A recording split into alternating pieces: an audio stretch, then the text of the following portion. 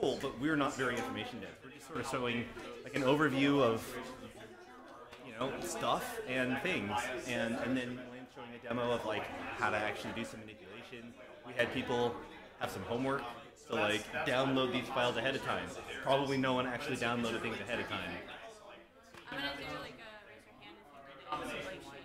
Yeah, I'm gonna I'm gonna do a, a, little bit of like raise your hand used you uh, HST spectral data in the past and who's here has used like the legacy HSLA. I'm honestly winging a lot of this talk, which I am not really happy about because I really like preparing and I'm not. It was just Travis, yeah. And then when the workshop was moved from Monday to Friday, he had travel plans that he had forgotten about basically, which took him away from today. So I, so funny to me because they asked me if I'm still good at dinner. Just checking something. I know, right? No, it's funny. I'll probably use the stand because I just have like small. Right, yeah. But I'm gonna be like right at the laptop. Yeah. Are you doing okay for I know you're like in charge. Just a couple more hours. Yeah. Just a couple more hours. Yeah. Good, maybe. I forgot that I had a observing run next week. Oh no. Okay.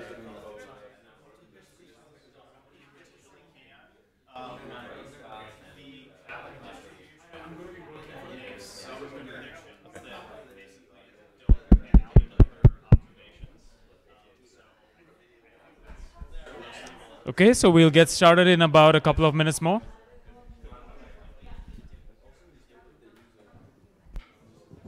I guess people are less interested in HASP than they were in FANGs, which is fine, I guess.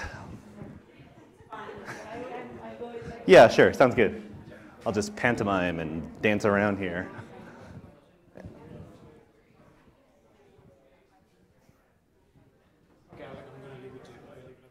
Okay, uh, no, Matilda ran off to. Yeah, let's, let's wait a couple of minutes. Sure, that's fine. Alrighty, let me get a photo of the uh, population in the room here compared to a couple days ago. Just a little bit fewer. That's all right. Okay.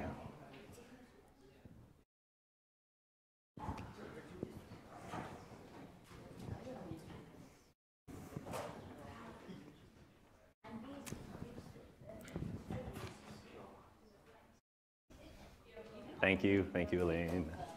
My esteemed colleague and dear, dear friend, Elaine.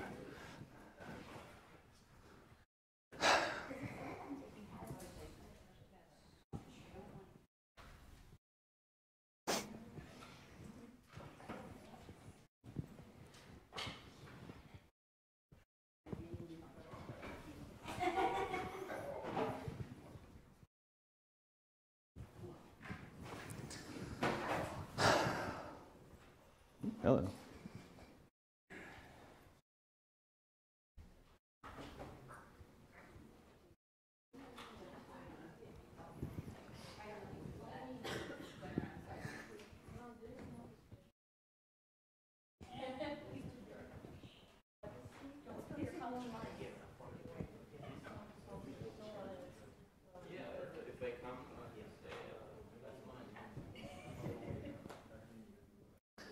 I will wait until Matilda gets back, I guess. Seems reasonable.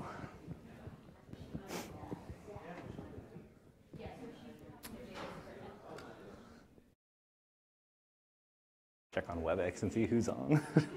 yeah, I don't want to wait too long for the WebEx folks.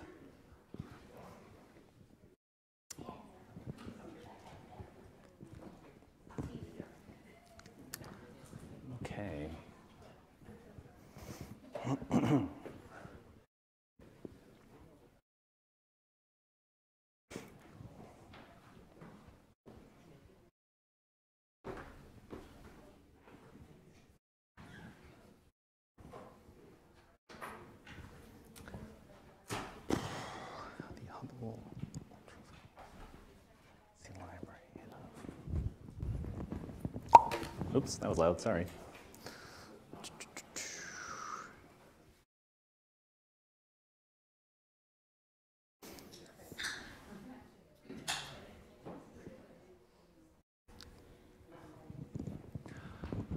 All right, folks, we are seven minutes after, so we can go ahead and get started. Um, hi, everyone. Um, welcome to the second of the three workshop uh, items here for our symposium. Uh, I'm Alec Hirschauer again. Hi, I give a talk on Tuesday. Uh, I'm a postdoc here at Space Telescope, and I work with the HST COS instrument team. And I have been a part of the Hubble Advanced Spectral Products, or HASP team, for the last couple of years. And so uh, today I'm going to be giving a quick introduction to what the heck HASP is and uh, what the data products are uh, for this program, and then I'll toss it over to my good friend and esteemed colleague, Elaine Fraser, right here, hi, who's going to show you how to uh, basically run through and manipulate the data. Uh, I'm the data products lead for HASP, and um, it's been a real joy getting this off the ground. Um, so I guess my first question for those of you who are remaining on this wonderful Friday afternoon, who here uses Hubble spectral data in their, in their work? Okay, good, a few of you. How many of you have used uh, archived, like legacy spectra from Hubble in your work? Awesome, okay. So the way that uh, archived Hubble spectral data has been, has existed in the archive has been, mm, it's, it's been okay, but we, I think we can do better. So uh, what we're gonna do is talk about how we're working to enhance the legacy of HST spectral data um, on behalf of the HASP team. Okay, so this is going to run a little animation as it pans through, which I should have done about 20 seconds ago. Right, so uh, HASP is a program which automatically co-adds COS and STIS data that are available on the Mikulski Archive for Space Telescope. Uh, I guess I can move on to my next slide here. Is this going to work? Yes, cool. Sorry, I'm not used to using keynote slides. Uh, since Hubble was launched in 1990, uh, Space Telescope Imaging Spectrograph STIS was installed in 1997. Uh, the COS, uh, the Cosmic Origin Spectrograph, was installed in 2009. Uh, these are optical and sort of near and far UV scoped spectrographs respectively. And over the course of time that they've existed, there have been, oh, that's really not a good place for that to be, is there? Well, Hubble has produced, uh, has, has observed about 10,000 unique objects with COS and STIS over uh, the course of time of these instruments being on the telescope. Uh, they are, hello. Should stand over here. The battery's running out. Of course it is. All right. Uh, so what we're seeing here are the, uh, in purple circles, these are the two and a half arc second COS apertures. And the green line here is sort of a representation of the STIS long slit here. So there have been over 64,000 data sets and 3,200, over 3,200 programs, and this increases every cycle. So there's a lot of spectroscopic data that's being taken with Hubble uh, as, um, uh, as we progress into the future here. And so, I really shouldn't use this. All right, I'm not gonna use that anymore. So the question is, how can we extend and improve uh, on the legacy of these spectra? How can we make the power of all the observing programs which have used Hubble in the past work for you, the users, right? So uh, that is why we have uh, introduced the Hubble Advanced Spectral Products. This is a, high, uh, this is a, uh, a program which pr pr uh, provides automatically updated and co-added COS and STIS spectral data that is available to you, the users, from the Mikulski Archive for Space Telescope. All right, um, I see people taking pictures. I'm sorry. So uh, here's an example of, uh, of, of, a co-add product. Uh, um, we take uh, image, we take the spectra at both the visit and the program level for any given program. Uh, this is Markarian 817. It's the target of a massive monitoring campaign to, observe, uh, to understand the variability of AGN in, in UV. And over time, this program has accrued, has accrued several hundred observations with COS G130M and G160M spectra, uh, the gratings. And individually, these observations provide a continuum signal-to-noise ratio of about four or so at about 1,200 angstroms. And that's kind of useful.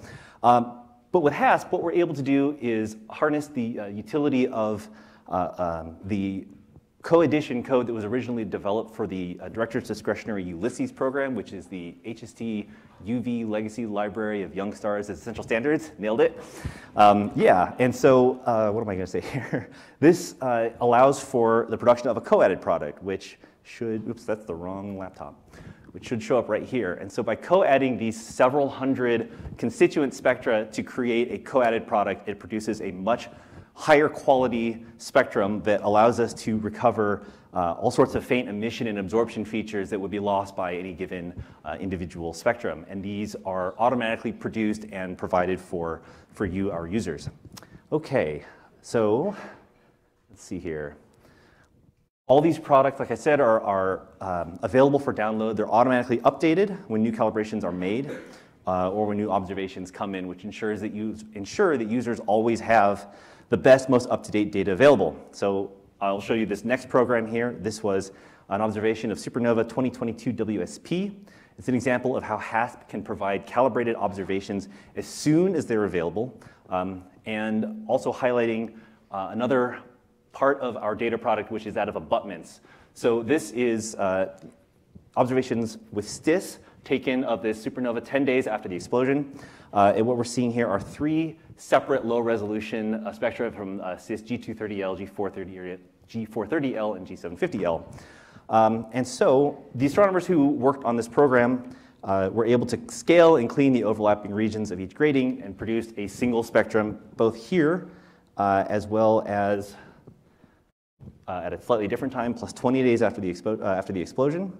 And the cool thing about HASP is that we can recreate that expanded spectrum automatically using the most up-to-date calibrations uh, and abut, which means to join all of these uh, different grating products together. So here we have the uh, joined spectrum from each of the plus 10 and plus 20 days, and you can see after a small offset how we've created one full abutted spectrum of uh, each of these two time, uh, these two timepieces here. Okay, so uh, how do you get HASP data right now? HASP products are readily available through the MAST HST portal.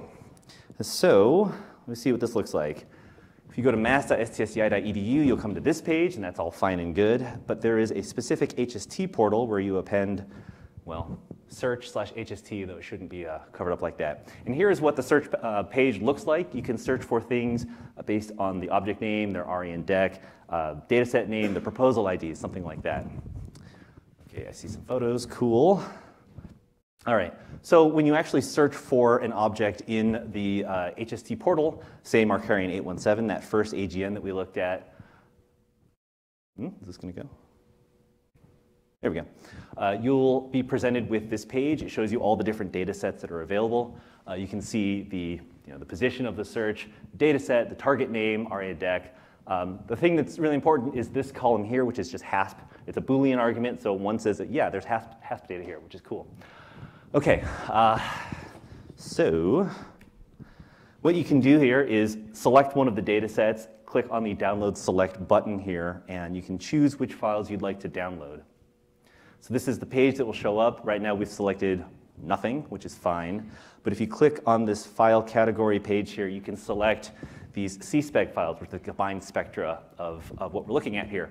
Uh, the CSPEC thumb is thumbnail versions and probably less useful for you, but that's okay. All right, um, so here we have an example of what kind of uh, uh, HASP COAD products that will be available for you. So let's take one for example. Uh, this one here. Here we go. All right, so uh, the way that the HASP data product naming convention goes is you have the instrument, so HST, uh, the program ID, 16196 in this case, the instrument that was used, in this case COS. Um, this can be hyphenated, so if both COS and STIS are used to create this data product, that'll be there. The name of the target that you're looking for, Markarian 817, the grating that was used, and then uh, some uh, identifying uh, information, which is at the end here, and then your combined spectrum.fits. And so this data uh, can be plotted up, and you get this beautiful co-added spectrum of uh, all the data that were affiliated with this uh, particular set here.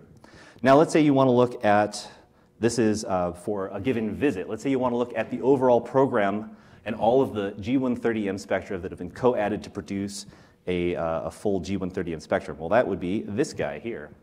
So uh, here we have the co-added spectra of many, many more G130M spectra covering a wider wavelength range. It's superimposed over the orange can to, will show you how much better uh, the uh, co-addition of all these different spectra uh, will look. And then well, let's say we want to look at the full program level coad of everything that happens to be in this program. So we're going to look at this guy right now. So this is COS and STIS together, Markarian 817, and then each of the gratings that are affiliated with, with this observation. So G130M, G160M with COS, and then STIS G230L, G430L, and G750L. And that is going to look like this. Ooh, right, cool. Okay, okay, this laptop turned off. Good. Okay, cool. So what's in a HASP CoAD product? I'm going to go ahead and swap over if I can. I can't. Oop, nope, nope, nope, nope, that's not it. All right. What we're going to do is look through a, uh, a, notebook which lets us walk through HASP data. Uh, I zoomed in, so hopefully those in the back can see it a little better. Uh, so this is a very simple notebook that is a Jupyter Notebook, which is available to you. I think it's been posted to the uh, Slack channel for this session here. And so what we want to see basically is, well, how do you want to, how do you take the HASP data and, uh, and examine it? So first of all, what we would do is simply import our standard set of things here. Um, when you open the file, you'll get some info. Here is the name of that full program COAD with all of the, all of the different gratings for both the instruments here. When you open that up, you will see that there are uh, these zeroth, first, and second extensions of the data file here. Uh, so the header information from the primary extension, um, we can just sort of note here, yes, in fact, we have uh, the file name, which includes all the things that we talked about before. Um, right. Science instrument configuration, which shows COS and stis, uh, and all these other things we talked about. So we're using all these different gratings um, the central wavelengths for each of these settings, uh, many of them, there is the STIS 52 by 0.2 arc second uh, slit and the primary science aperture uh, for, for COS. And the observing mode is multi because we're looking at multiple things here. Uh, the target information shows you uh, that this is Markarian 817, that we know where, for example, it's located, um, where everything came from. So I want to show you now the science uh, data extension. So if you um, pull this up, you'll see that for each of these files, you'll have the wavelength, the flux, the error, the signal-to-noise, and the exposure time, the effective exposure time, which we can then plot, which is probably the most interesting thing. So this is what a, uh, a HASP co-added spectrum looks like, and with these notebooks, you can show that for yourself. Okay. And then finally, uh, the final extension is the provenance extension. This tells you where all of the base level uh, constituent X1D and SX1s, which are the one-dimensional COS and stis spectra, come from. And um, yeah, okay, cool. So let's move back. Uh, any questions so far? Yeah, okay, a couple of you.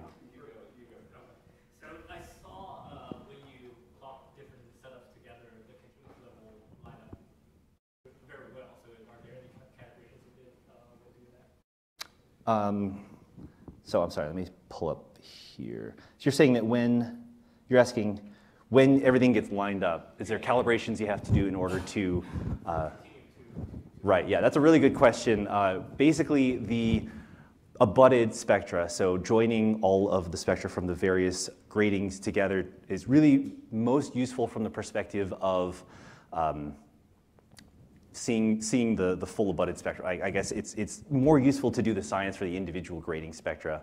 Uh, we're currently working on figuring out how to best join, say, G130M to G160M spectra, because that overlap region, uh, there are, are, complications with respect to like the line spread function of the lines, right? So um, it doesn't exactly add together trivially, and so we're working on how to uh, improve that. And that'll be something that'll be available later on with further phases of the new uh, Hubble Spectroscopic Legacy Archive. That makes sense? Cool. Uh, Ryan? Okay, I think you answered one of my questions. Okay. How do you deal with the different spectral resolutions? Right. Will there be an extension that gives you the effective spectral resolution so you can lost the information? Oh, I see. Is that a plan? Or? I believe we have talked about that. I don't have the information on that myself, though. Okay. Yeah. Uh, the other question, sure. particularly with COS spectra, yeah. Um, you know, the way you extract them, the result you get can differ a lot if it's a point source versus an extended source. Good point, yeah. Uh, yeah, so that's actually something that I should have mentioned earlier. We have some conditions which apply to what data is actually able to be co-added with the uh, with the HASP code here. So, um, okay, uh, the types of data in the archive, the overall Hubble archive that are eligible for co-addition has to be restricted because this is supposed to be sort of a one-size-fit-all co-addition that that um, applies to as many things as best as they can, if that makes any sense. So uh, there are certain things that don't get co-added right off the bat. So things that are extended sources, things that are variable sources, uh, things that have uh, pos-tar offsets, which is actually something I'll talk about in a second. And so um, Elaine here is going to show how to do custom co-additions, which allows you to go in with uh, yourself and, uh, and make those uh, products but we, for the purposes of readily available HASP data, have not provided that. Yeah, too many you know, red flags associated with trying to do that, sure. All right, so as you see from my notes, show the audience what kinds of spectra are available to download. Cool. All right, this is going to take a second because it's Keynote. Cool. Any other questions from this side of the audience? Lovely. Yeah. Just a quick quick question. So these are like cross spectroscopy. So like from one aperture you have directly the spectra. Is this spectroscopy in the I don't know if we will show this, but like it's like a slit like and multiple sources. Hmm. In the are there tools available that I can say like I want to have like this point of offset? Like sometimes there are multiple sources. Right, right. Is there something what can do that? Uh, that's a good question. I don't remember off the top of my head. I believe the answer is, is that something part of the, the, the, the custom COAD notebooks? Different extractions from the STIS slit? Yeah, we're working on it. Yeah, so we're working on it. Basically, the autom- sort of like what to answer Ryan's question, the automatic process takes the strongest trace out of whatever the slit spectrum, uh, whatever the STIS slit is, and that gets uh, that gets made the target of, of whatever we're looking at here.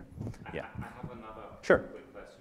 When I have imaging data and some like really like HST imaging, like the alignment is already done there. Like when I have like a STIS spectra and Uh-huh. I see like the brightest point where it's like centered on, or do I have to make any correction with alignment myself? Alignment. Like that I can really, s- for example, when there are like two sources very next to each other in the slit spectroscopy, or multiple, that I can like directly with the position and say, okay, I have the position and the orientation from the STIS, uh, STIS spectra, uh, spectra, and I can say this spectra is from this source, or do I have to like uh, be careful about that? I'm sorry? Like how good is the WCS coordinates in the slit spectrum? Oh, I see. Um, Yeah, so if, for example, if your target is a little bit off-centered from the long this slit, you can apply offsets. You can apply offsets um, when you run CalSTIS to extract the spectrum. So you can tell it, you can look at the two-dimensional image and say, okay, this is my target A, and clearly this is a little bit off-center, so I need to, when you extract it, you need to apply an offset in the wavelength calibration, because that's not gonna be centered. So there are ways, um, but that will require a lot more tailoring, but you can do it. And there are notebooks that can teach you how to do that. Yeah. Yes, yeah, yeah, and we will, we will get to those in a little bit, and that'll be probably the most useful element of this workshop because I'm already taking a long time. All right. Alec, Yeah. there is a question on Slack. Oh, okay. Let me go backwards then. Bloop. Marie Lou Alau uh, is asking, will there be another data release to the Hubble spectroscopic legacy archive now Ah. that now that there's HASP? The target classification in HSLA is very useful. Mm-hmm. I can select to download all, all AGN targets, for example. Yeah, that's a really good question. So the question was, is there going to be a new update for the Hubble spectroscopic legacy archive? The answer is yes. So HASP represents stage one of a multi-stage process, which is a revitalization of the HSLA, uh, which will be happening over the next year or so, I think. So um, the ability to download and select all AGN or whatever from the HSLA um, uh, will be a, a, a tool that we are going to be uh, reinstituting also for further stages of HSLA. So yeah, that, the answer is yes. Cool, good, all right. Okay, so I already talked about what's in a HASP COAD product. So uh, let's see here. Right. So as I mentioned, the HASP products are built on sort of a one-size-fits-all solution to the HST archive, uh, but we also provide the ability to create custom uh, coads to get even more out of available uh, archive data with Python notebooks, which are available to guide users. Uh, so this is observing program for uh, Betelgeuse or Betelgeuse, depending on how you want to say it. Uh, and so the astronomers who ran this program stepped the slit across the surface of the massive star here. And so what happens is that the uh, central uh, positions of the slit, the spectra from that are what are immediately available on HASP right now. But there are other observations that were taken from this program. So extended, uh, so marching the positarg, of changing the positarg and, and, and putting the slits across different areas of the face of the star produces different flux, uh, a different spectra with, uh, with varying uh, flux levels here. Uh, these are generally not included in our, in our, um, in our HASP coads because um, they represent different things that you're looking at, right? And so what we have is actually a custom COAD process that allows uh, users to include these into their, uh, their, overall, um, their overall product here. Okay, so here's another example of a custom COAD, custom COAD technique which is available to the community. Uh, so in this situation, which is a program which uh, measured the line spread function of the uh, multi-anode microchannel array shell modes for STIS, here we have the flux standard G191B2B, and um, my notes here? Uh, as this was being observed over time, the, uh, the flux levels of these spectra were found to vary slightly. And so we have a flux rejection algorithm which takes place, which takes uh, flux from any of the input spectra which are markedly below the level of the nominal flux value and rejects them to create your coed uh, product. But let's say you wanted to scale these together and um, dis, uh, dis, uh, uh, throw away the effects of, say, uh, the flux offsets from the breathing of the telescope. What you can do is use a custom COAD notebook to manually scale them together and produce a really pretty spectrum right here. This is a custom COAD product. Okay, so with that in mind, uh, where can you learn more about HASP right now? The HASP web, uh, website is live. You can find it at this URL or you can on this QR code. This includes Python notebooks, which uh, Elaine will talk about in just a second, the instrument science report documentation, as well as links to data access. All right, so I think that is it for me. I'm going to go ahead and pass things over to Elaine.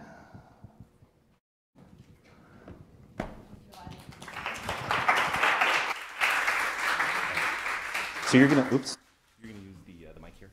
All right, excellent.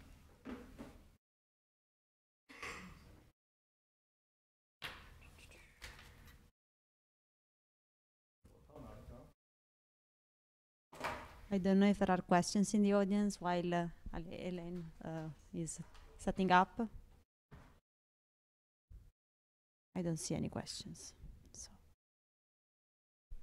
in case uh, you can find all the information on Slack. Uh, and uh, please download them in the next two weeks because, as Darshan reminded before, Slack will not be available uh, in two weeks.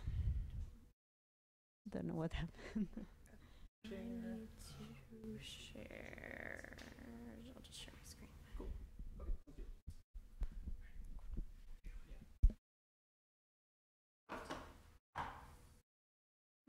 Can everyone hear me okay?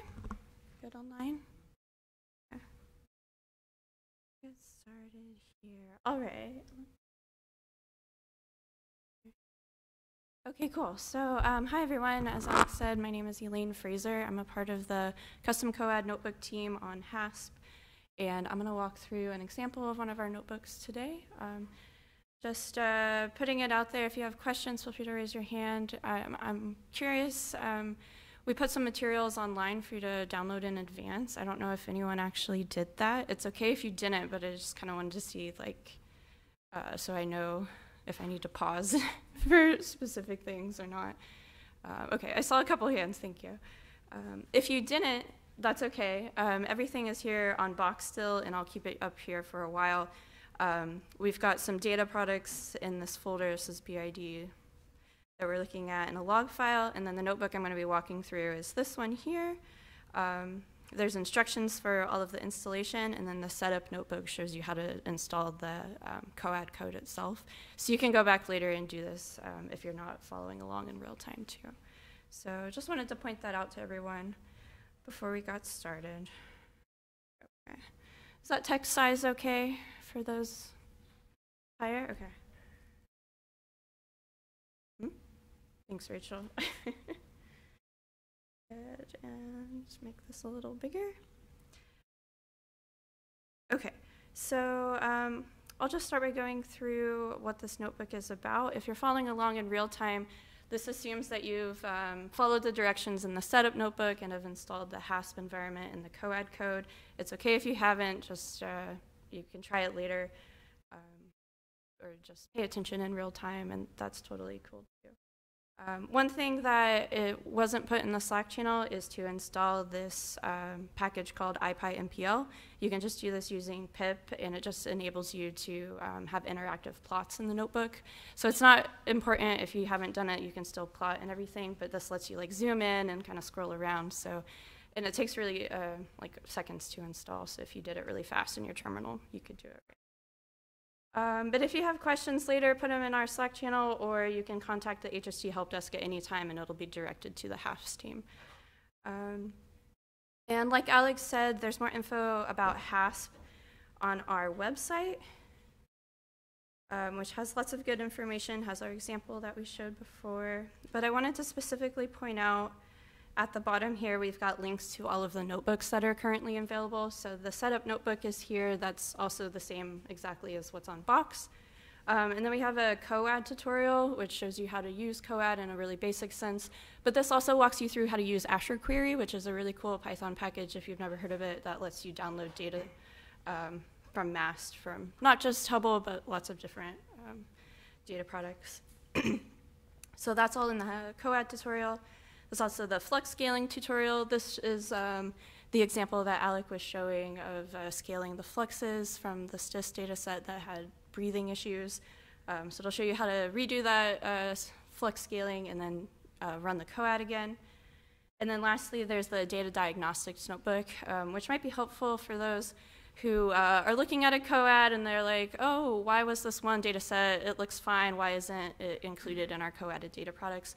This notebook will show you how to look at our log files, um, see what was rejected and why, and then how to flip some switches in COAD itself if you want to add uh, data sets back in or uh, change the flux filtering or anything like that. So the example I was going to walk through today is actually the third example that's included in this data diagnostics notebook, so you'll be able to find it uh, there forevermore if the box folder uh, shuts down. Um, okay, so back to the notebook itself. Uh, I guess I'll go ahead and jump in. I wanted to see, I'm pretty sure Python, everyone is pretty familiar with it. Uh, yeah, okay, just making sure we're not starting from scratch here. Um, so the first thing we do in any notebook, of course, is uh, starting off with all of our import statements. So of course, we've got the basics like NumPy. There's AstroPy, really good uh, astronomy um, package for everything you want to do. Um, there's AstroQuery that we're importing here, um, which is going to let us download our data sets. And then we just have some utility things, and then we're using matplotlib for our plotting here. Um, this pound sign um, with the widget is what makes all the plots interactive. So if you don't have that package, you can just comment that out and everything will run as normal. And then the last things are just setting up the, the plots to be pretty. So go ahead and run that. And this next cell here is just going to print out which conda environment is active. So this is just making sure that you're in the HASP environment. So if you follow the instructions in the setup notebook, um, it should come up and tell you that you're using the environment that you just made. Um, if that's not the environment that you've downloaded everything in, you'll want to close out of the notebook, go back to your terminal, go to the right conda environment, and then reopen your notebook so that you can actually run COAD afterwards. Okay, are there any questions about just the basic setup? Okay, cool. okay, so in this tutorial, we're going to be walking through how to make um, custard COAD data products for the target Markarian 817. Um, we looked at this data set already in Alex's talk, but it was observed by COS and STIS. There's a whole bunch of data for the program, um, but like Alec was talking about, we have this iterative flux checker um, in our COAD script, so a lot of this data gets rejected um, before it's co-added because it's a variable target, of course. So this is going to show you how to create a custom product if you want to include those data sets back in. And so um, as we said before, there's a wrapper for COAD, and it goes through um, some basically pre-flight checks for all of the data sets that go into it. So this is going to filter out any data um, that has observing issues like guide star failures or tracking issues. Um, it's going to filter out any data with suboptimal observing parameters like pointing offsets or um, the use the COS uh, bright, bright object aperture. And then just certain target parameters, like the question that we had, um, we don't co-add any moving targets or extended targets. Um, so all of those data sets, if it finds a flag in the files that are input, is just going to kick them out from the COAD to begin with. Um, but then inside COAD itself, we have this iterative um, process for looking at the flux of the input data. Um, and it'll reject any data sets that have lower flux than the COAD itself. So it's kind of an iterative process. And the initial idea for this was just to um, find a way to flag data sets that were missed by those pre-filters that occurred. But of course, if you have a variable target, um, this is also going to catch stuff like that too, whether or not you want it to. Or, um, but there's still some use- useful science you can get out of those data still. So how it works is um, COAD's going to create an initial coadded spectrum that just incorporates everything that you fed into the file, or it's into the code. And then it's going to compare each input data set with that coad, and it's going to check the median deviation against some threshold value. And so the default threshold is negative 50, which was determined to be um, really effective for rejecting bad spectra while leaving the good spectra in. And we did some testing to make sure that we're getting that value kind of tweaked to the best uh, that we could. Um, but then once a data set is rejected, a new coad is created, and the process starts all over again until no input spectra are being rejected anymore. And that's how we get out the final coad product for you. Um, are there any questions about the flux filtering? Before I keep going, I feel like I said that all really.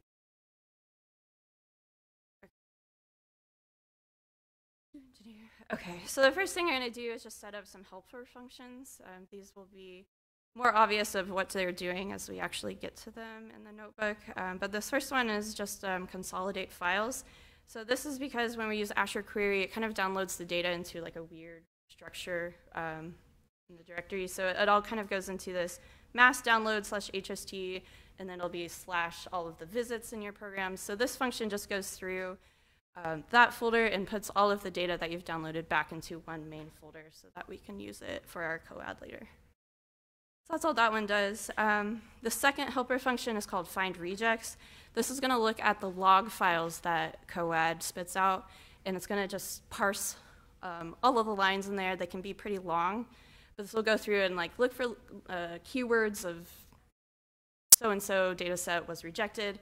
It adds them to a list, so at the end you can just run through your log file and see, okay, XYZ files were rejected because of this uh, ABC files were rejected because of the flux filter, and then you can go back and check um, which files were um, actually good, or if you want to add some back in. Anyways, this is just a, a helpful function to parse those files quicker than going through by eye.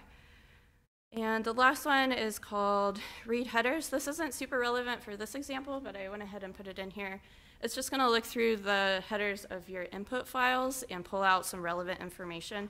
So like I was saying, the wrapper will uh, pre-filter based on some header keywords. So it's going to pull out um, like the exposure time and the planned exposure time. So if those are really different, then you'll see why the data was rejected because of that.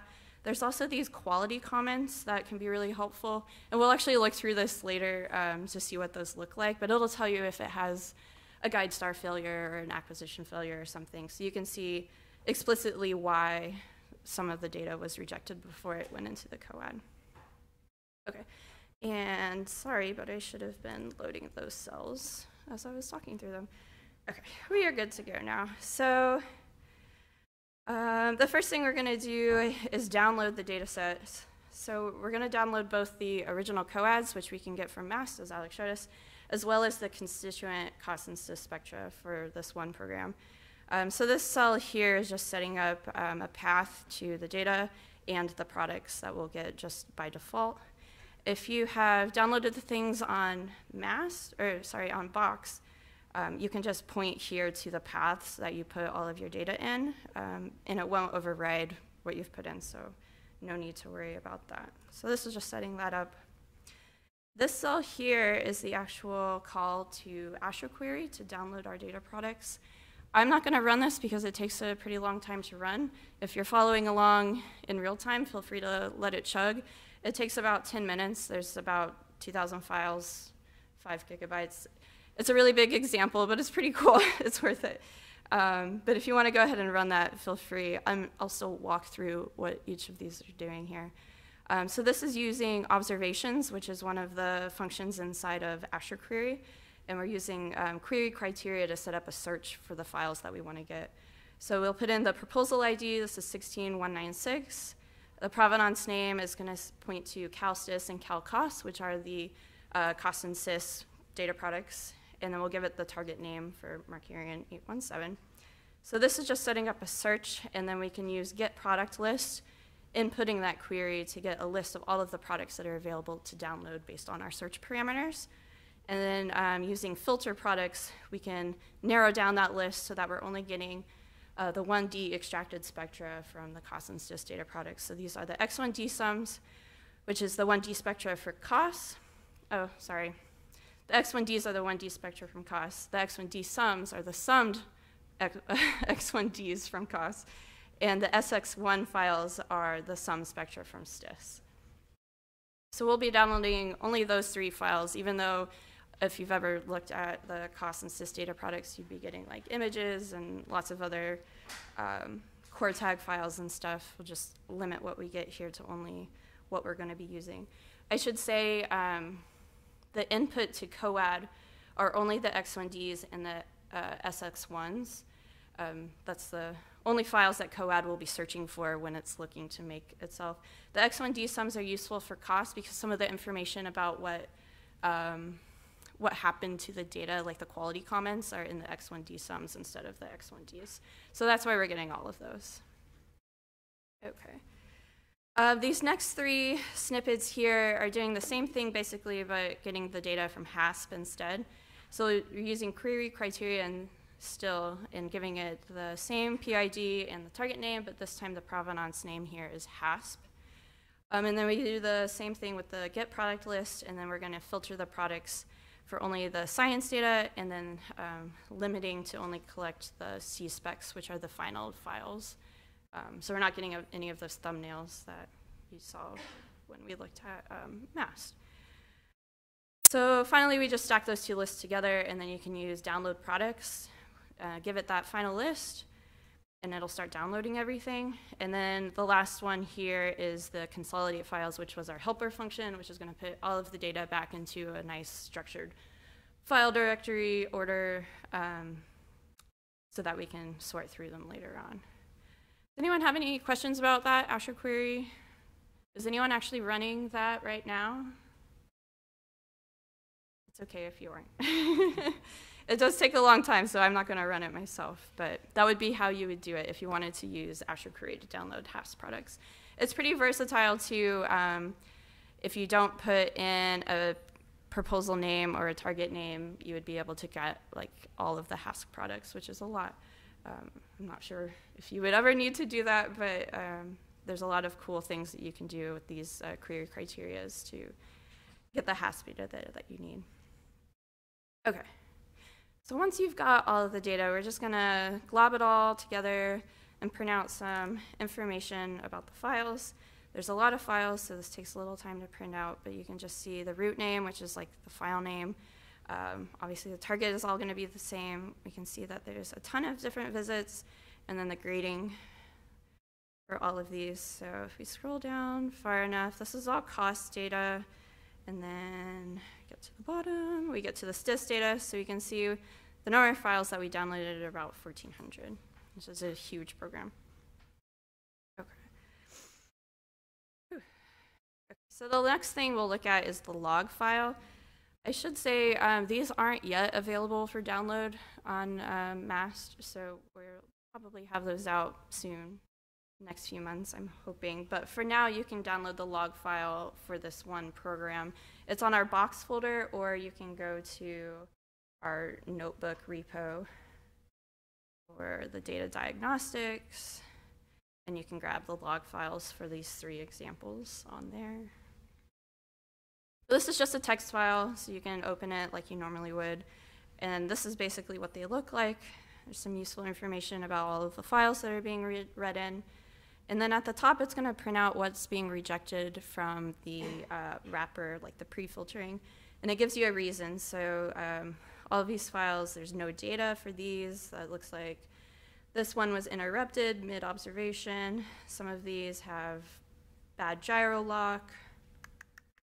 That's about it. Okay, so once we get to this part here, it says creating list of unique nodes modes from these files. This is when COAD is actually starting. So once we get through all of the files, this is a pretty long list. This log file is quite large. Basically reading in to a big table everything that it's going to coad. Then it will start looping over the visits, so it's going to make the visit level coads first, and then at the very end will be when it makes the program level coad. And like Alex said, we don't yet have cross-program coads available. This is for our next stage, so um, this will be um, our task for the next phase for the HSLA.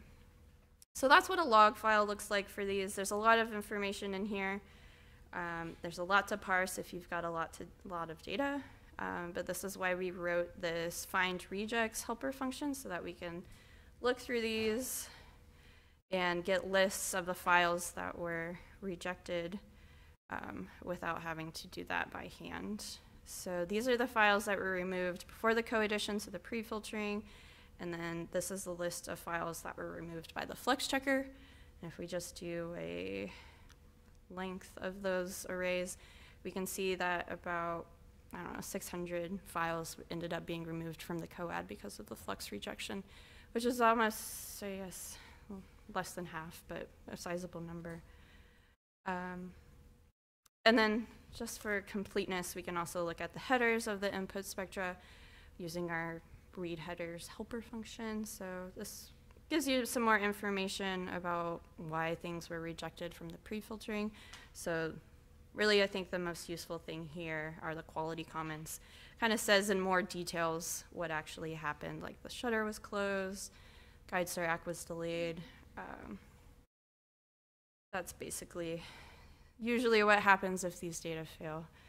Um, so this will give you a more idea of why things were rejected from the COAD. Okay, so now we're to the part where we're actually running COAD.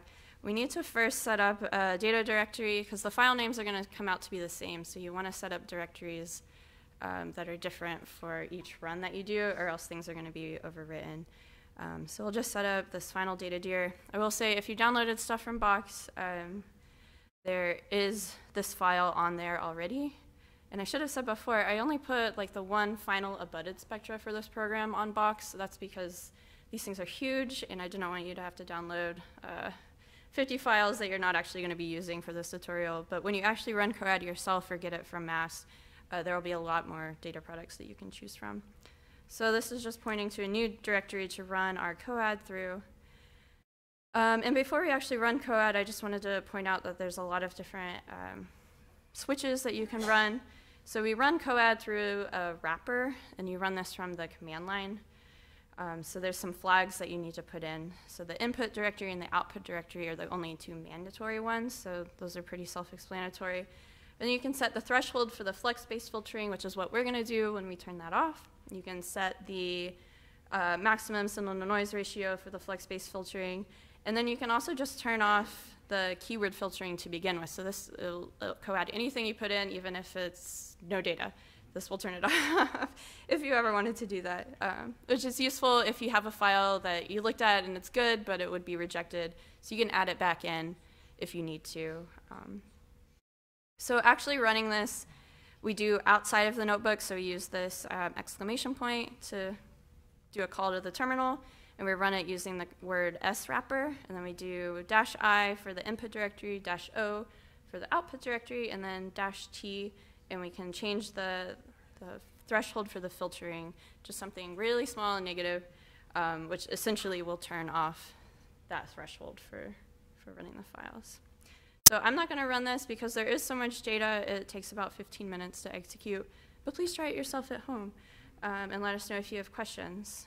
But I will go ahead and show you the results of running COAD uh, with a fancy plot. So um, the first thing here is just the definition to um, bin the data so it plots more pretty. I always use this downsample 1D, and you can set a factor for the binning um, when you call this function. So um, the file name here, like I said, it's the same for both the old and the new versions, so you can just define it once. This is the final abutted data product for this uh, this program. So it's, uh, I guess, the same one that we showed in the slides before. It's COS and STIS, and it's got all of the gratings that are abutted together. So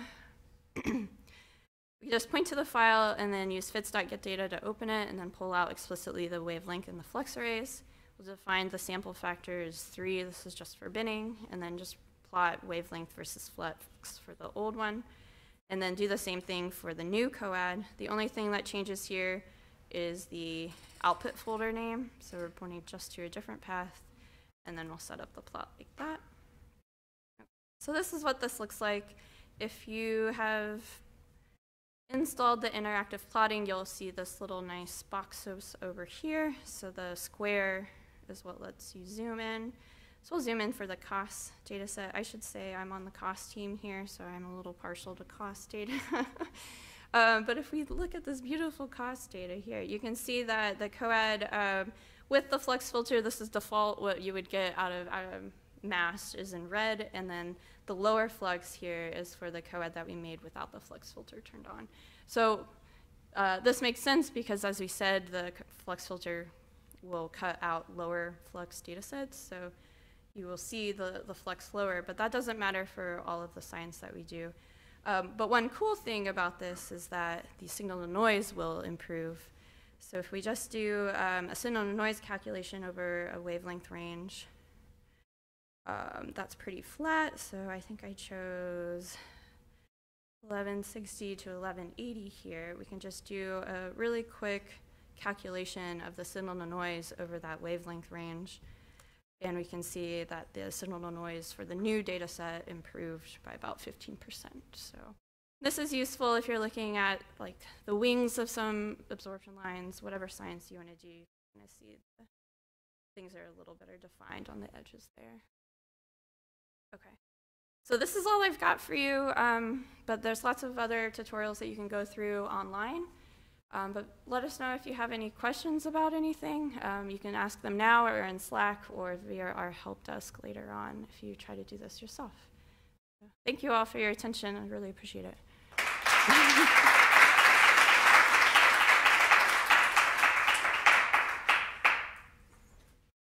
Are there questions? One question.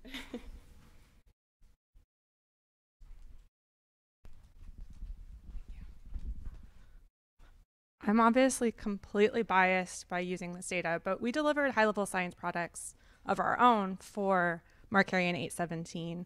Um, so, is there any way that we could use this code with those high level science products? Do they have to be in like an X1D format? Yeah, the inputs have to be the X1Ds or the SX1s.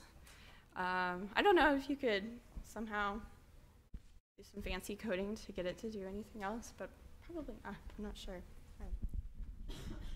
Oh, I just had a question of like if there's a way to preview the spectra on the HASP uh, portal before you download it and uh, run the pipeline or Oh. run the notebook. That's a good question. Um, I think you can look at the thumbnails, but you still have to like download them first. But can you look at them? Do you know, Alec? Not quite. That's going to be an element that'll be uh, included to later stages of, yeah. Thank you. Any other questions? Or we can start uh, already to move to the last part of this uh, workshop uh, with uh, the Elasticity NG and Brian. So let's thank again.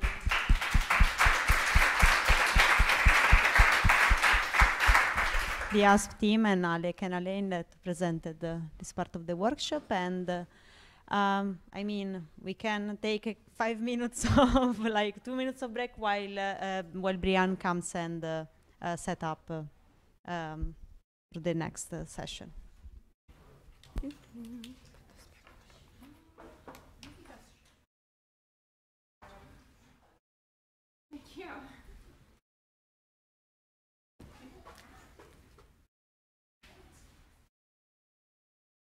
share the screen or that she she's gonna share the screen, she's right? Yeah, okay. So let's just share the WebEx portal. She needs to be connected to WebEx. Yes. Uh,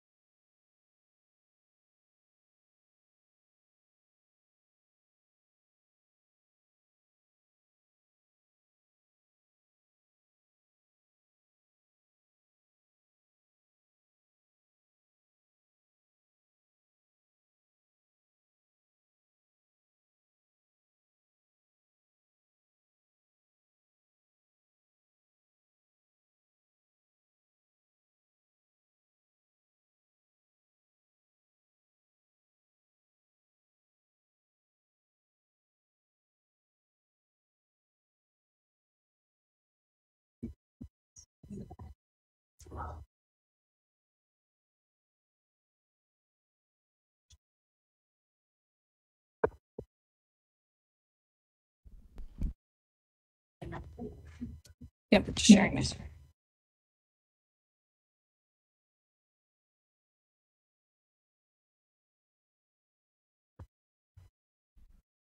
Okay, so we are ready to start.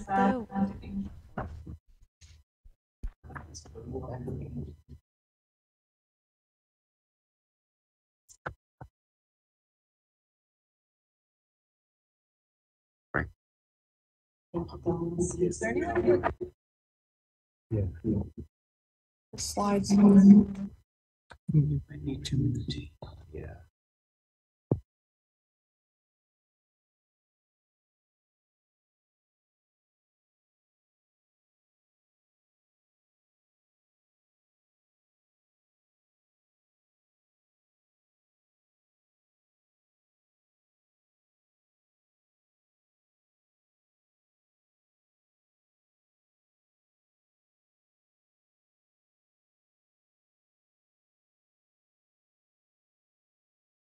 We are really ready to start with the last uh, with the last session of this workshop. Um, and we will have uh, Brian McDonough who will talk about exploring Illustris TNG simulations to derive observationally comparable star formation rates and metallicities. Thank you, Brian.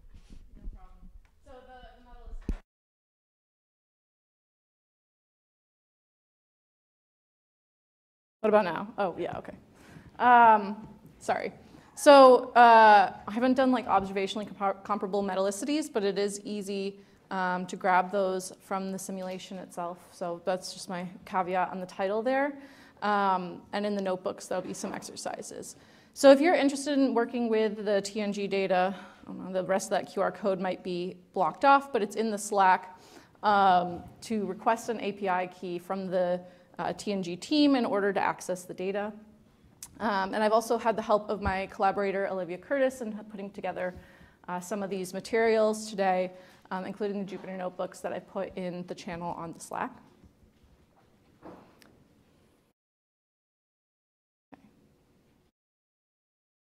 There we go. Okay, just takes a second to propagate there. Um, okay, so I'm sorry it got a little cut off there, but uh, I'm just showing here uh, an example of one of the visualizations that the TNG team has put together that um, advertises the amount of data that's available in the sim. Um, yeah, I don't know. It's like cutting off the top and bottom, but I think that it should be fine. Um, okay. Sorry for the technical. What? Yeah. Okay, yeah, so now you can see the whole thing. Um, and hopefully the text won't be too small. But this is just giving an example of the types of data that are available in the simulation. And what's really enjoyable about simulations for me is unlike observations, if you want to know something, it is there. Um, sometimes it'll take a little bit more work to get that information out. Um, but I think the real power of simulations is you can take those simulations and then you can derive observationally comparable quantities instead of trying to get your observations to, to fit the simulations. Um, okay, so I'm sorry there's going to be a lot of text, but um, there is. Uh, I'm a teacher at heart, so I included the learning goals for uh, the simulation, um, or for this uh, workshop, rather. So we're going to cover a little bit about the Illustris TNG simulation itself. I, I can't possibly do it justice in the time I have. Um, but I really want to emphasize uh, and talk about the different types of data products available and what you might want to use them for.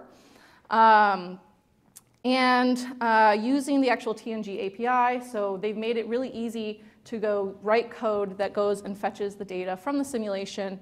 And in the notebooks uh, and in IAPI uh, tng.py that I've provided with you, you with, um, it helps you um, really access this without too much of a barrier to entry I hope.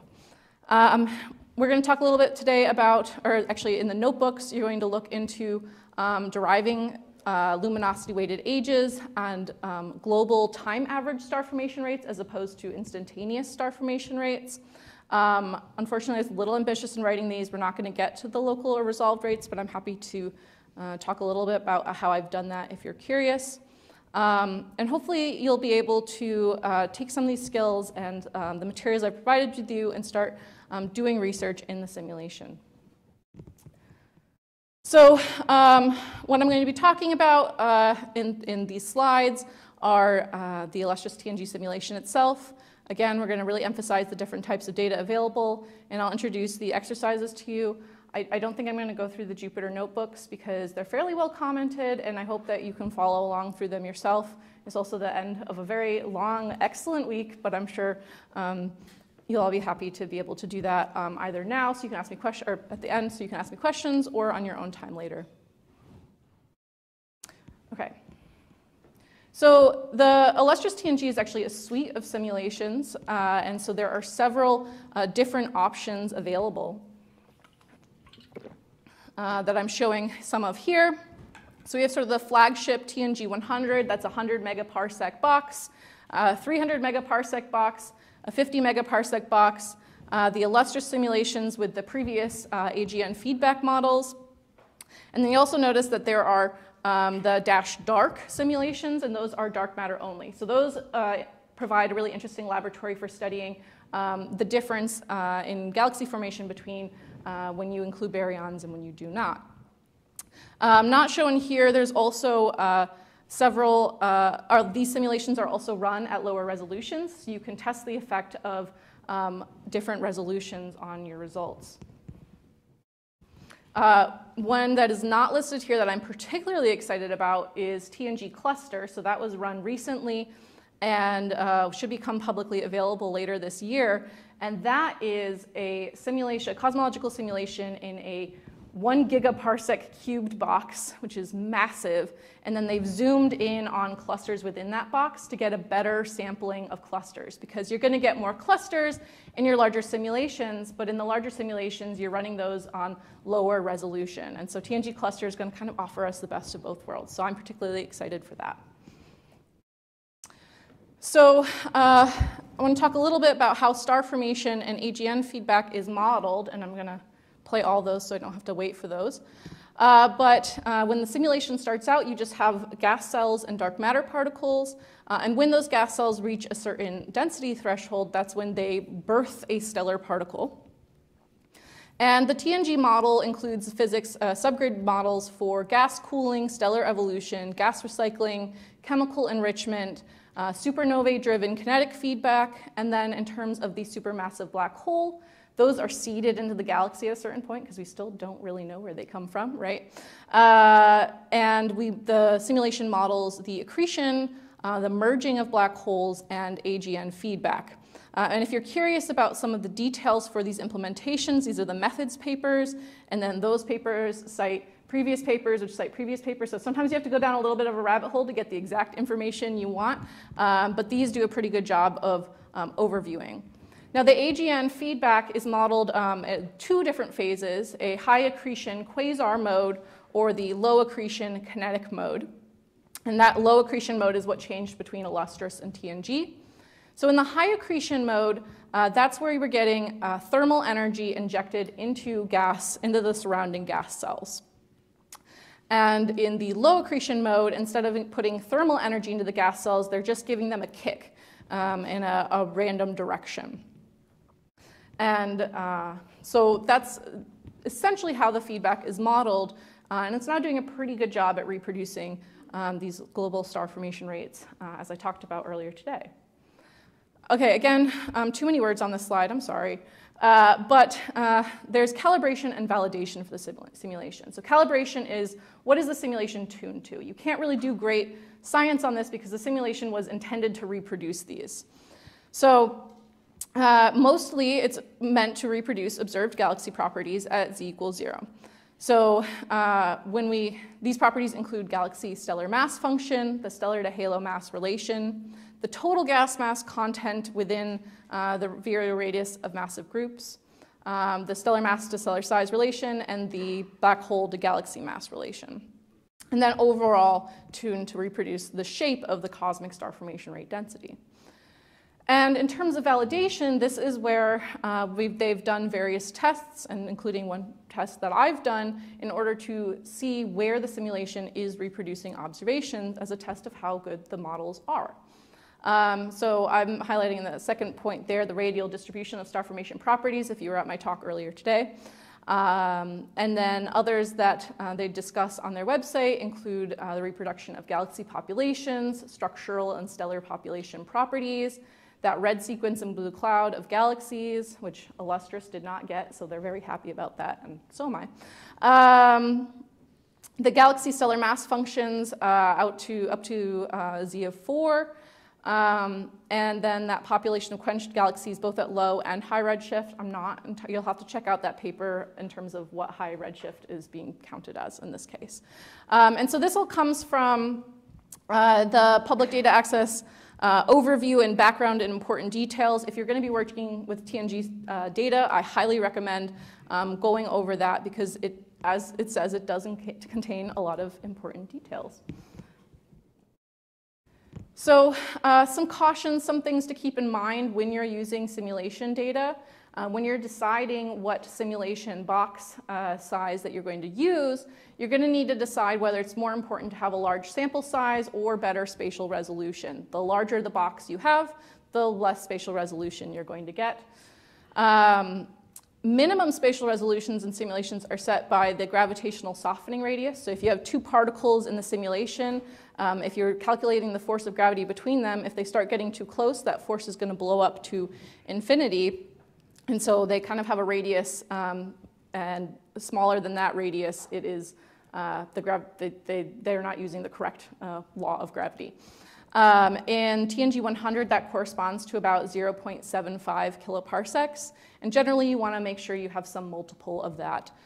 Um, and uh, in terms of deciding whether a galaxy is, is resolved, uh, I asked a lot of people these questions um, as I was doing my dissertation and trying to understand, because no one actually really says it uh, very well. And, but uh, what I've come to is I aim for about a thousand stellar part, at least a, st- thousand stellar particles in a galaxy before I'm starting to really look at um, some of the resolved properties in it.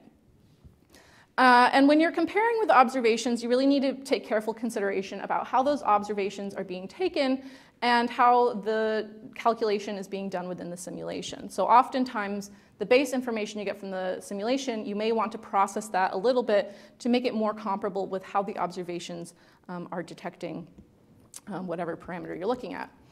And there's no major tensions that TNG 100 reports with observations, but there are several possible tensions that have been identified in the literature, um, and those are all listed in the background information and are good to look over if you're considering working with this data.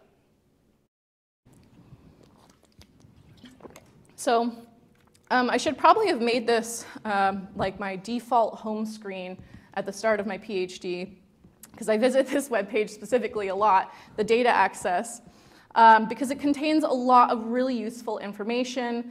Um, and uh, I mean, the whole website actually is, is, a lot of really useful information. But uh, in terms of documentation, this background and important details, I've highlighted some points from there. The data specifications are going to tell you about these individual fields, and I'm going to be talking about what's available there later. They also contain example scripts and web-based API, so getting started guides and helper scripts. Some of them assume that you've downloaded the full simulation, um, and so my, I don't assume that because I didn't have that much space on my um, supercomputing resources. Uh, but there are really great getting started guides there in Python, IDL, MATLAB, and Julia. So my resources are for Python and in Python notebooks, but if you're curious in those other languages, I highly suggest checking those out. Um, and I believe some of them have been updated since I started doing my dissertation, which I'm like, oh, wow, that would have been useful two years ago. But it's really helpful. Um, there's also some really interesting web-based exploration tools. So you have to request access to the Jupyter Lab, um, but you can just do simple searches uh, with certain, for certain parameters. Uh, and you can even plot um, simple relationships for the gal. They say galaxy slash halo. I, there might be a way to get the galaxies, but it's mostly for the halo properties. Um, this one is my favorite. Uh, visualize galaxies and halos because you can get really beautiful publication quality images um, from of individual galaxies in a lot of different parameters. And then the browsable API I found is really helpful for uh, troubleshooting.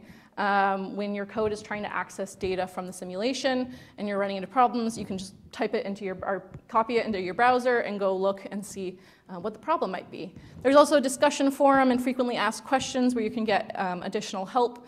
And then if you're curious about different simulations, there's a comparison that they have. Um, and just to point out a few other things in the tab across the top there, the project description is good to read if you don't really know anything about TNG. Uh, results are where they've published their main results, and then any other uh, papers that have used um, the simulation. And you could even, I could have drawn an arrow that says, your science here. So if you are using the TNG simulation, they'll um, update their results page um, with, the new, with new papers all the time. Images and videos are great for coming up with really great uh, presentation materials, which I didn't do a good enough job of pulling all of those for you. Sorry, I should have included some of the beautiful videos, right? Um, and then Explore also offers some options to just look at the data in different ways. Yeah. Most of these links require like login. So although I've requested one, so is there any restrictions in terms of like who can register for? No, um, yeah, I, they're pretty open. I don't, I don't, I requested my API key a while ago, but I think I just requested it and it was given to me. Um, I think the Jupyter Lab, that's still a little bit more in beta, so they ask what you want to use it for. Um, I think most of the documentation is available without an API key, and it's just if you want to do the visualizations. I think it's just so they, I don't know much about like hosting websites, but I assume it's something to do with keeping it from getting over requested or something like that. Um, yeah, but I don't. I, I, it was really easy for me to get an API key, but that was years ago, so I don't think anything's changed. Did anyone request one ahead of the workshop? Yeah. Did you run into any problems? Still have not received it? Okay.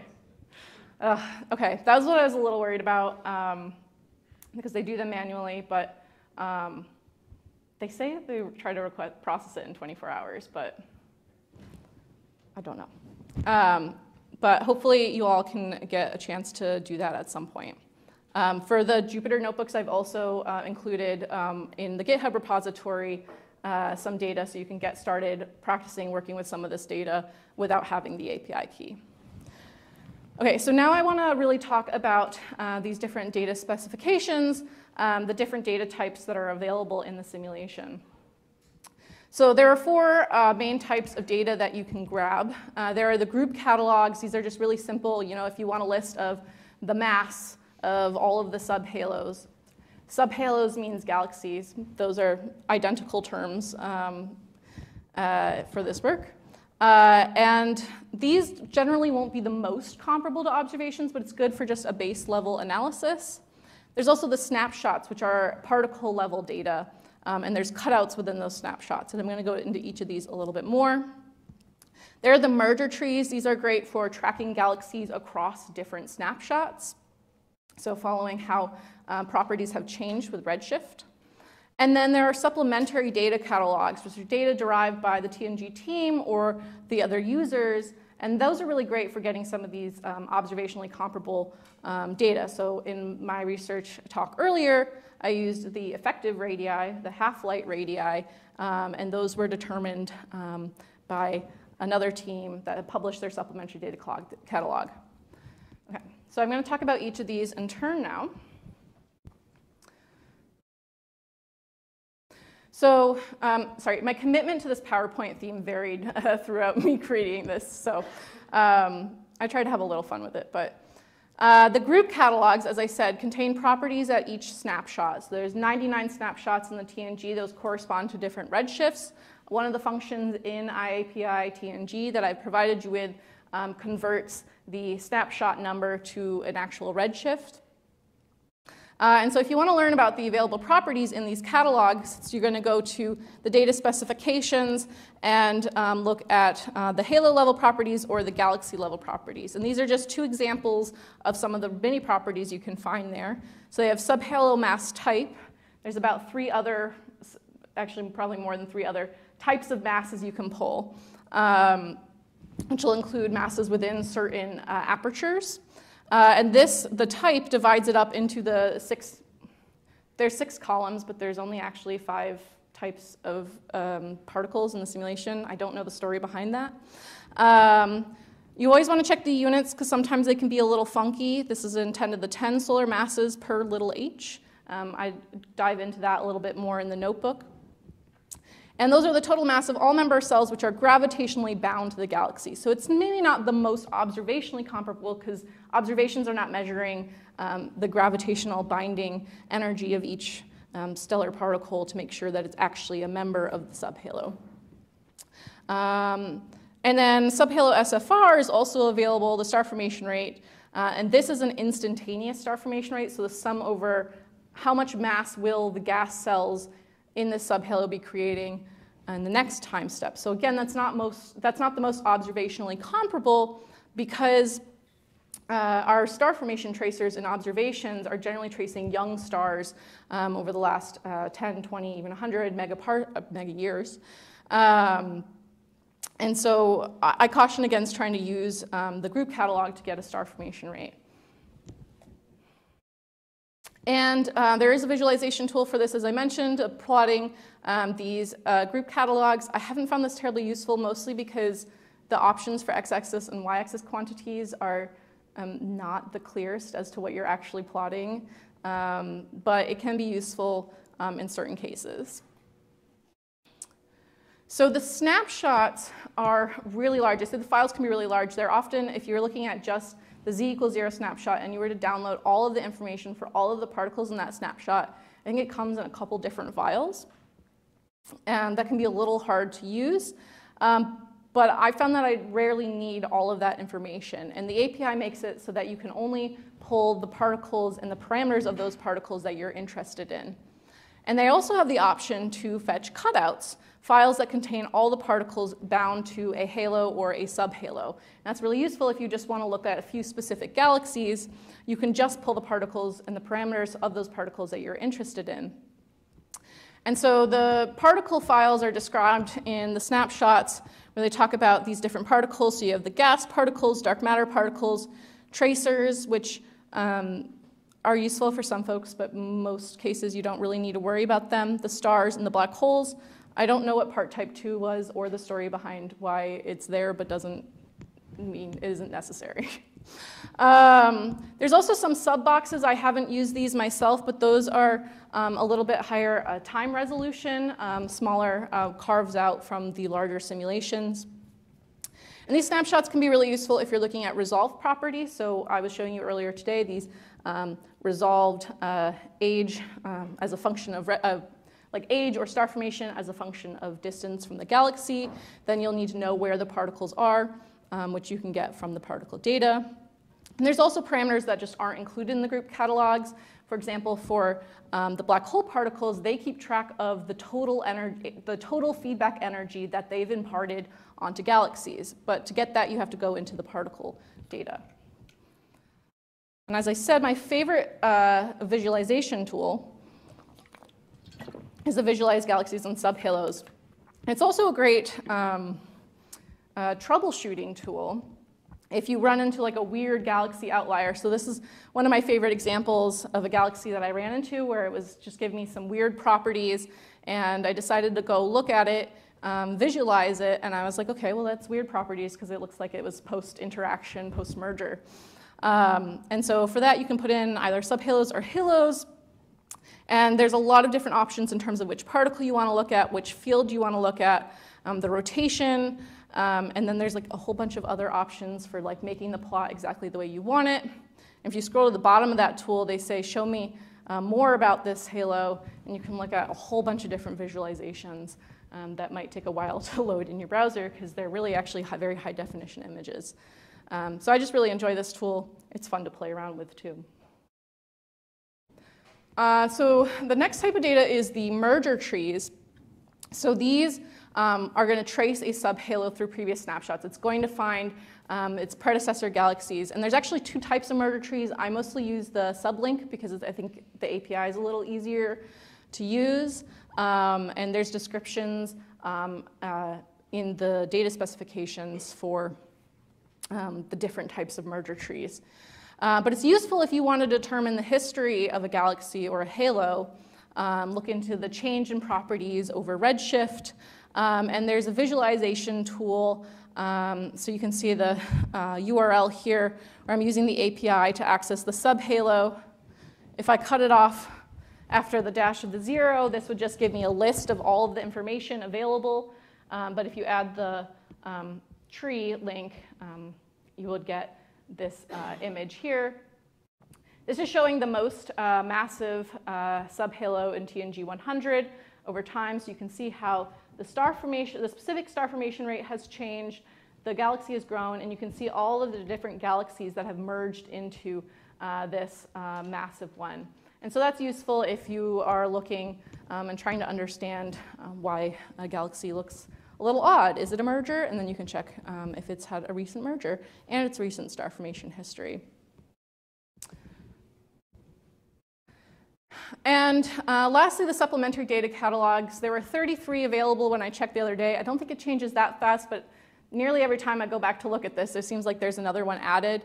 Um, and if you're interested in working with TNG, um, and you've derived a lot of this data, it can be useful. Um, you can um, contact the team and have them uh, publish it as a supplementary catalog.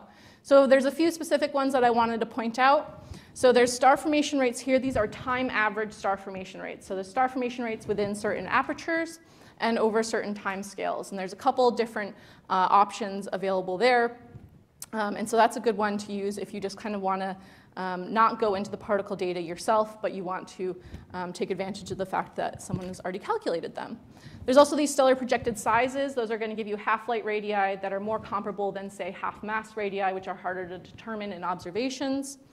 Um, I've not used the stellar assembly myself, but I've been curious about it. It differentiates in situ star formation versus um, ex situ stars that have come into the galaxy. So if that's something you're interested in, um, in terms of differentiating in like really massive galaxies, were these stars formed in the galaxy or did they form outside and then come in later?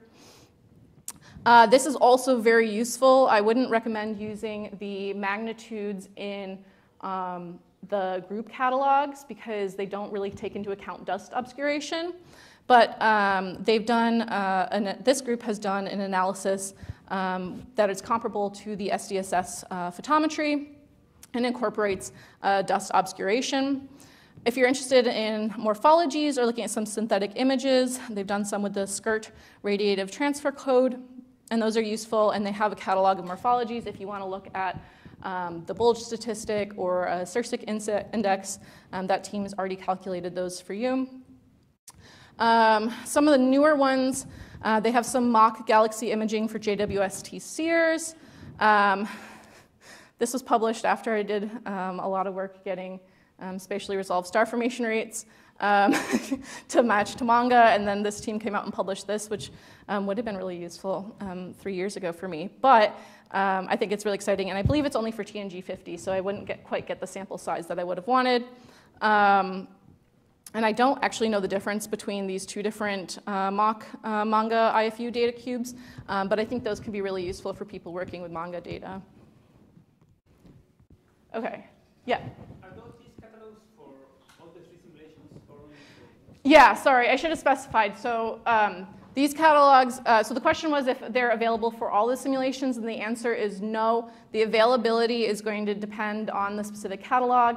Um, a lot of them are, like especially some of these more, um, a lot of the ones earlier up were done by the TNG team themselves. Um, so those tend to have a little bit more coverage. Um, but you have to check, each of these have a description as well as a link to the paper that, um, that used the data originally. Um, and so if you're going to use any of them, you want to kind of read those in a little bit more detail. Um, but I think some of them have been done a little bit more um, generally. Was it the like, because I remember when I was looking at morphologies, these morphology catalogs weren't as um, broad as uh, the optical morphologies one. So it, you have to look into um, what's going to be right for the work that you're doing. And um, sometimes you might get sad because it seems like you have a really good catalog that you want to use, and then uh, it's not available for the simulation you're working with. But um, yeah, and then they're not available at all Redshift. So it, it just really depends on the catalog, yeah. You received a response, okay. How long did it take? Three hours, okay. That's better than 24. Yeah, so that's why I posted in the Slack I had time to request it. Um, but uh, I think mostly I want to give you all a chance to just do the notebooks on your own time. I, I'm feeling very tired. Um, I don't know about you all, but. Um, okay, so my basic troubleshooting advice is um, if you're having problems with the get functions in the API, um, I just like to, I like to print the URL that I'm trying to get, check to make sure that that URL actually is what I thought I was coding, um, and then just follow it in the browser to see, um, you know, every so often, like a subhalo won't have a cutout, um, and you have to do some try except statements. If you have some weird outliers, I like to use that visualize galaxies and halos tool to see if there's something visual that I can be like, oh, that's, you know, that had a weird interaction, or that's something strange going on there. Uh, and there's also the FAQ and a discussion forum. Um, uh, Dylan Nelson does a lot of the um, web uh, work for the TNG API, and he's very useful um, uh, in the discussion forums. Okay, so time is it? 4:30. Okay, so practical exercises. I wanted to leave a little time at the end for you to work on the Jupyter notebooks, but um, I think I'll just kind of leave that to your own, and I'll be available by Slack and email um, if you have questions about that. Um, so I'll just introduce very briefly what the notebooks are going to cover, and then I'll leave the rest of the time for um, questions that you might have. Uh, okay, so the Oh, yeah. So when you're using um, these notebooks and IAPI TNG, uh, you're going to have to update um, the IAPI TNG, uh, and you're going to have to replace um, this with your API key, and that um, then, then you don't have to worry about this really at all. It just automatically takes into account what your API key is to send those requests. If you're getting 403 errors, um, that means you probably didn't uh, update your API key correctly. Um, okay, so um, there's another reminder to update the key. Uh, and as I said, I have some of the files available in the GitHub repository. Some of the, the large files aren't available, but I have the like derived ones. Um, and yeah, don't be afraid to ask help. I didn't know if we were going to have tables or not. We clearly don't. Um, and then, okay, so there's two different notebooks. The Notebook 2 and Notebook 3 don't depend on each other. Notebook 1 is mostly about actually fetching the data from the simulation website. Uh, notebook 2 going to work through actually using some of that data to plot um, a global star forming main sequence um, and show how to perform a ridgeline fit, which is a fit to the modes. Um, this is a personal um, request of mine to stop fitting the star forming main sequence with ordinary least squares. I was trying to compare in my previous paper all these different fits, and ordinary least squares can get really biased by your sample. So um, I've shown how to do that. And then um, talked a little bit about impacting the choices of, say, which stellar mass you're using from the simulation or which star formation rate timescale. And Notebook 3 is independent from Notebook 2, so you can do them in either order. Uh, but Notebook 3 practices working with the particle data. Um, so the the, what I enjoy, or something I found useful, is that the stellar particles keep track of the uh, time in which they were formed, and so you can do these kind of time average star formation rates, uh, but they're given as scale factors, and so you have to use Astropy to convert those into look-back times. Um, I guess you could technically convert things to yourself, but I, I like to do that. Um, and uh, then I show how to compute the time average star formation rates from these particle data and then compute luminosity weighted ages, um, again, from the particle data, and those are um, a lot more comparable to observations than the default star formation rate you're going to get from the instantaneous catalog. Um, and let's see if I had a final slide. So yeah, I want to thank um, the TNG team for making the simulation data available, and I know um, Dylan Nelson specifically does a lot on the uh, API tools.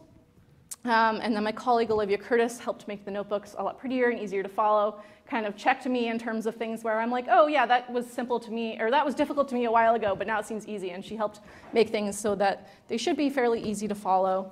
Um, and now I'd just like to take any questions you have, um, thoughts you have about how you might want to use the TNG simulation. I can speculate on how I would go about doing those sorts of things. So, yeah.